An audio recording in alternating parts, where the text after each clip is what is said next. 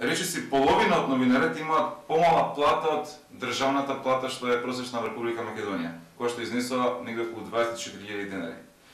Мнозинство од новинарите немаат договори за вработување на неопределено време, а 19% се привремено ангажирани како хонорарни работници.